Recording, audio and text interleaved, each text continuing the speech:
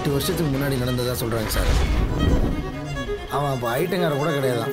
அன்னைக்கு வெறும் புறா வளர்க்குற பையனாக இருந்தவன் அதுலேருந்து அவன் வேறு லெவல் ஆயிட்டான்னு சொல்லுவாங்க சார். இன்னைக்கு ஏரியாவில் அவன் தான் சார் பெரிய கை. நம்மளாம் அவனை தொட கூட முடியாது sir.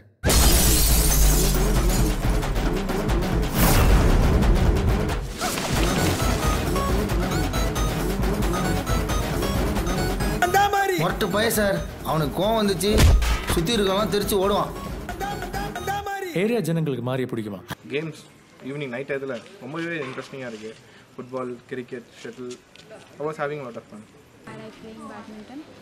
Playing, I started uh, talking with them and uh, started mingling with them. It's like I feel very good and I'm very comfortable with them. Com- we also have the mind relaxation, right? So we are playing uh, near the grounds, and it it is uh, mind relaxation. And uh, I spend uh, it's been two weeks in the field, and I spend most of the time in hostel playing badminton, TT. Uh, apart from studies, uh, I sometimes play chess, uh, shuttle, badminton. I spend time with my friends and I play cricket. I play table tennis and now I'm playing badminton. I love the play, I love to play the game TT, and so many people are willing to play badminton and tennis and uh, volleyball and ba- basketball even.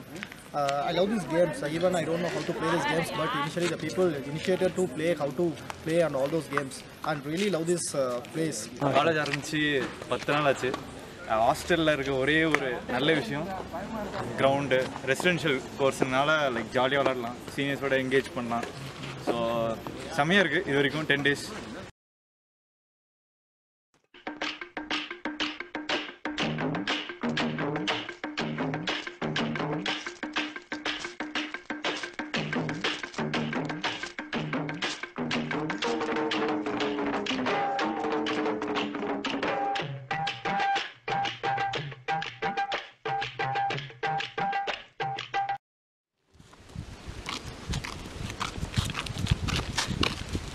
ஸ்போர்ட்லாம் எதுவுமே சரியா role பண்ணுடா roll பண்ணுறோம் roll and you cut down these trees ஏய் Sunday sports com ஏன்டா இப்படி பண்றீங்க? எவனுமே விளையாட வர மாட்டான் காத்து வாங்குது கோட்டு. எப்படியாவது க்ரௌடை கூட்டு.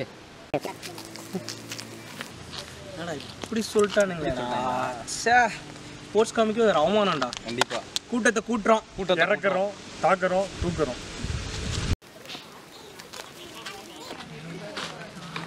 ஏய் அங்க பாடுறா செம்ம கூட்டம். என்னடா காத்து வாங்குற இடத்துல இவ்வளோ கூட்டம்? கத்தி கத்தி கூப்பிட்டாலும் ஒரு பையன் வரமாட்டேன் இப்ப பாரு எத்தனை கூட்டம்?